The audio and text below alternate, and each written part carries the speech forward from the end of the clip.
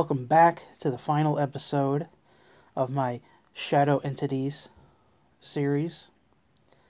And since no one wanted to leave their feedback for my personal experience for a fifth video, well, what the fuck, fam? I thought we were cool. Anyway, now that that unpleasantness is out of the way, let's get into what you can do. But first, let's recap. Shadow people. When it comes to shadow people, 95% of the time, shadow people are harmless watchers. There are the occasional 5% of malevolent ones that tend to cause problems. Shadow creatures. These are harmless, um, non human shaped, non demonic entities. Um, they're harmless unless provoked.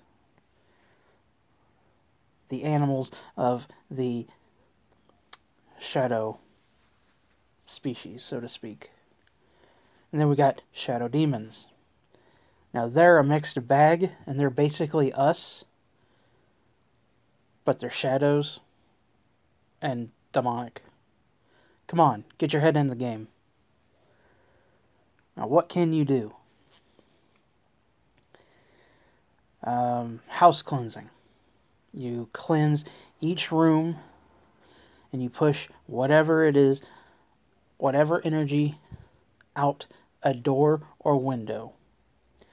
Uh, you can use sage, incense, uh, holy water, Florida water, or whatever.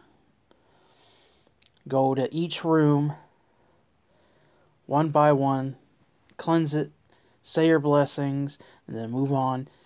And all leading up to an open door or window to push that shit out. Now, number two can go with number one salt lining the house and property. Salt line each windowsill and doorway once you have cleansed the energy out of the house. You pour your little line of salt at the bottom of the doorway and on each windowsill. And then salt around the house uh, as close as you can get it to the foundation. And if you are able to, salt line the property line if possible. Like all the edge around your property line. Sea salt works good, whether it be kosher or dead sea salt. I got dead sea salt myself, so that's what I use. Now for the old woman and hat man, uh, put a salt ring around your bed or sleeping area. This should protect you from the old woman or hat man and any other entities that may harm you in your sleep, such as succubi, incubi, um, things of that nature. You want to get it all the way around your bed.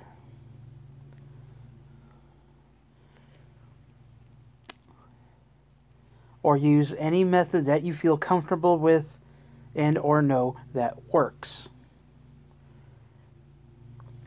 You want to use what definitely works, and you will be doing this every so often. None of this is 100% the final word. Uh, it's like the maintenance of a car, the maintenance of a house. You got to keep it up. Otherwise, you're going to be dealing with the same shit that you brought upon yourself. Fam.